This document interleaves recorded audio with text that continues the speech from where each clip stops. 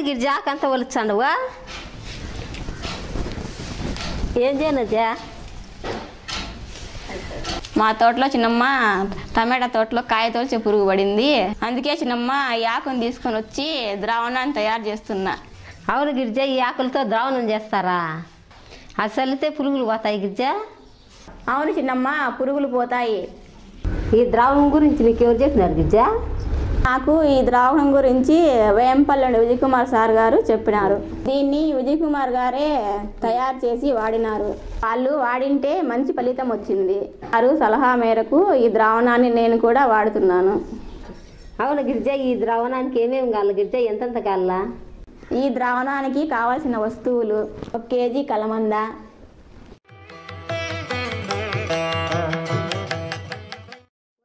పచ్చగాని రాకు కాయలు పూలు కలిపి తీసుకోవాలి. స్వచ్ఛమైన నాటావు గోమూత్రము ఒక లీటరు. ఇరవై లీటర్ల నీటిని తీసుకోవాలి.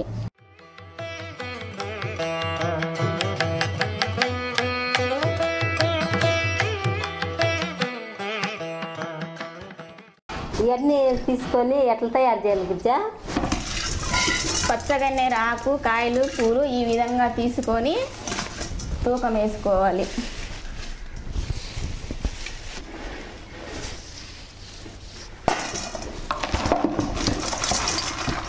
అలాగే మంచి కళ్ళమంద కూడా ఒక కేజీ తూకం వేసుకోవాలి.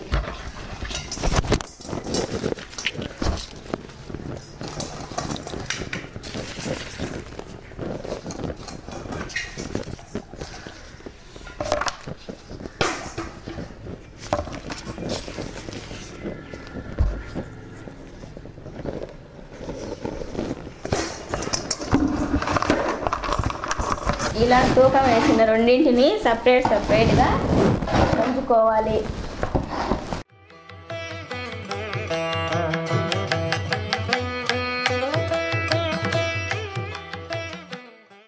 ఇవి రెండు సపరేట్ సపరేట్గా దంచుకొని వద్దాం మళ్ళా.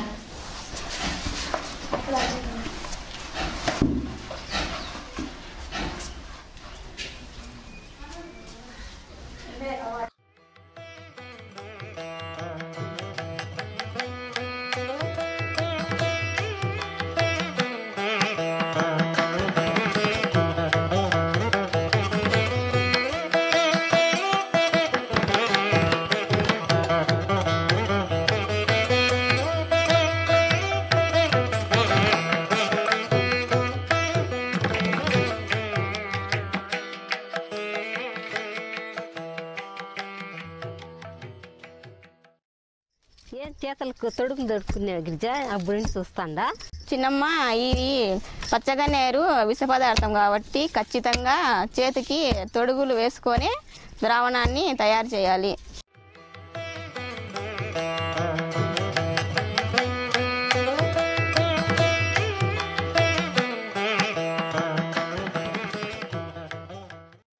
రాకును ఈ విధంగా దంచుకొని పక్కన పెట్టుకోవాలి.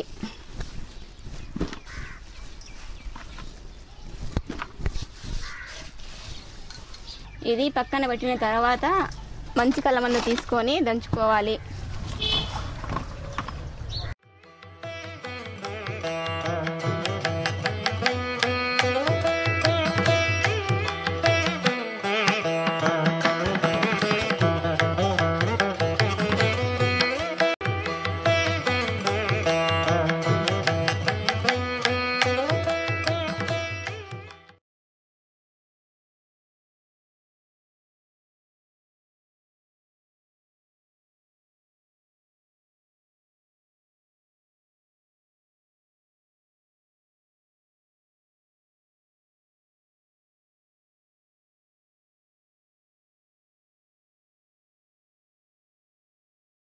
ఈ దంచుకొని వచ్చినామా గిరిజా? ఇప్పుడు ఏం చేయాలి అయ్యా? చిన్నమ్మ ఇరవై లీటర్ బట్టి ఇరవై లీటర్ల పైన పెట్టే డ్రమ్ ఒకటి తీసుకోవాలి. ఇందులో పచ్చగా దంచిన ముద్దను వేయాలి.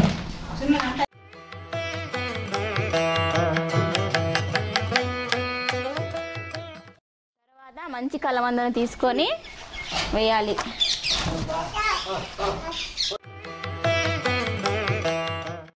తర్వాత గోమూత్రాన్ని ఒక లీటర్ వేసుకోవాలి. ఇది వేసిన తర్వాత ఇరవై లీటర్ నీటిని ఇందులో వేయాలి.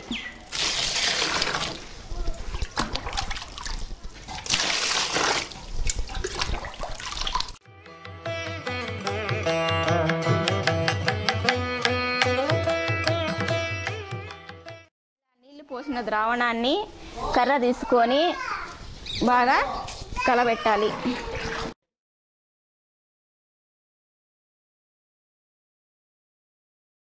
ఇలా కట్టెతో కలబెట్టుకొని తర్వాత గోనె సంచితో కప్పి పెట్టాలి. ఇలానే కప్పి పెట్టి ఆరు రోజులు. తర్వాత ఉదయం సాయంత్రము కట్టెతో కలిపెట్టి కప్పి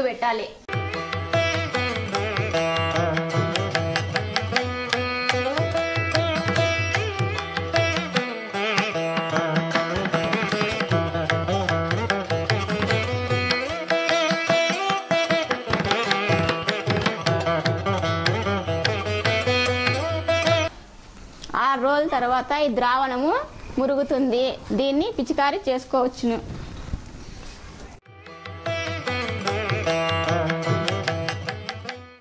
ఇలా మురిగిన ద్రావణాన్ని వడపోసుకొని పిచికారీ చేసుకోవాలి. గిరిజ ఏ పంటలు కిరిచికారు చేసుకోవచ్చు? చిన్నమ్మ ఇవి ఏ పంటలకైనా పిచికారీ చేసుకోవచ్చు. వంగ టమాటా మిరప ఏ పంటకైనా కూడా పిచికారీ చేసుకోవచ్చును. పంట మీద వచ్చి ఏ ఏ పురుగులకు పిచికారీ చేయాలి గిజ్జా పంట మీద వచ్చే తెల్లదోమ పచ్చదోమ కాయ తొలుచు పురుగుకి కాండం తొలుచు పురుగుకి బాగా పనిచేస్తుంది.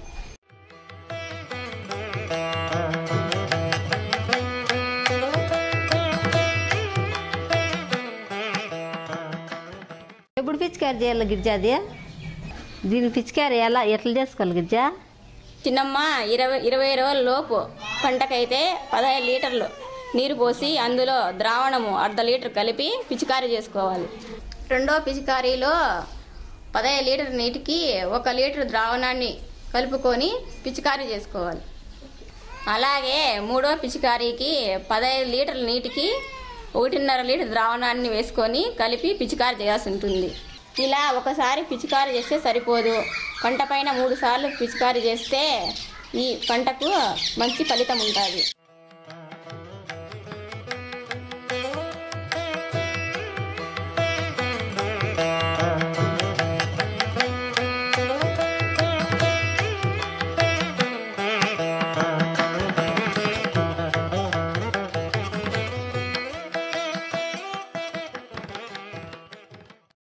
పిచికారు చేసేటప్పుడు ఏమేమి జాగ్రత్తలు తీసుకోవాలి గిరిజ?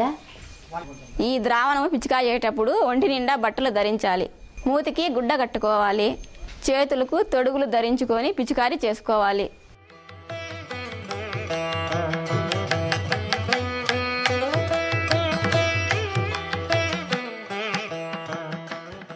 ద్రావణం ఎన్ని రోజులు నిలువ ఉంచుకోవచ్చు? ఈ ద్రావణము ఆరు నెలల దాకా నిల్వ ఉంచుకోవచ్చును. ఈ ద్రావణం ఎక్కడైనా నిలువ ఉంచుకోవచ్చునా గిరిజ? ఈ ద్రావణము ఎండ మరియు ని- వర్షపు నీరు పడిన ప్రదేశంలో నిల్వ ఉంచుకోవాలి.